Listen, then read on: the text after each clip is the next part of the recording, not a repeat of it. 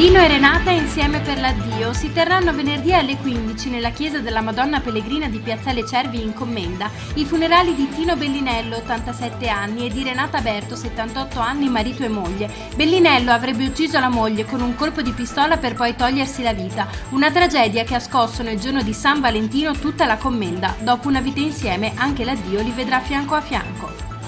Smog, Rovigo fuori legge, emergenza smog a Rovigo. L'ultimo dato è incredibile, in città al 19 febbraio è già stato superato il limite che dovrebbe valere per un anno ai giorni di sforamento della soglia della concentrazione di polveri sottili, una situazione gravissima per la quale non si vede alcuna soluzione all'orizzonte. Attenti al finto tecnico, un furto di contanti e gioielli a Stienta messo a segno da un finto tecnico che simulando di dover eseguire alcuni controlli per una sospetta pericolosa fuga di gas ha convinto l'anziana vittima a farlo entrare in casa da dove ha poi rubato gioielli e contanti. L'invito delle forze dell'ordine è sempre quello di non fidarsi e di chiamare immediatamente il 112. Il tribunale deve restare in centro, un consiglio comunale Fiume proseguitosi in verso mezzanotte presidiato da numerosi commercianti con tanto di cartelli che domani domandavano che il Palazzo di Giustizia non venga spostato dal centro. Alla fine, a questo proposito, le varie forze politiche hanno trovato, pur con difficoltà, unità con una mozione unitaria. Per il sindaco ci sono ancora margini per fermare l'arrivo del carcere minorile e quindi espandere il tribunale all'ex carcere. La protesta dei lavoratori, un centinaio di lavoratori di Ecoambiente, la società che cura la raccolta e il conferimento dei rifiuti in discarica,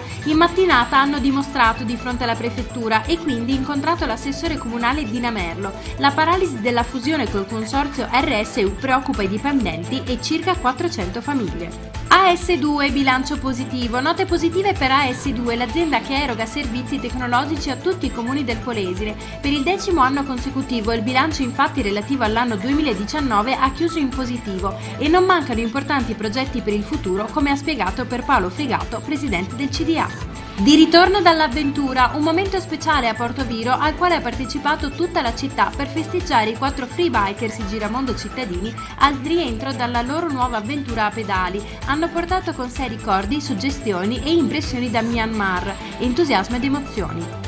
Telecamere nella sacca, un progetto per garantire la massima videosorveglianza possibile della sacca di Scardovari nel comune di Porto Tolle, purtroppo spesso oggetto delle sgradite attenzioni dei malviventi che rubano i motori fuori bordo dei pescatori, producendo danni gravissimi. Il progetto è portato avanti dall'amministrazione del sindaco Roberto Pizzoli AS2, l'azienda che eroga servizi tecnologici ai comuni del Polesine.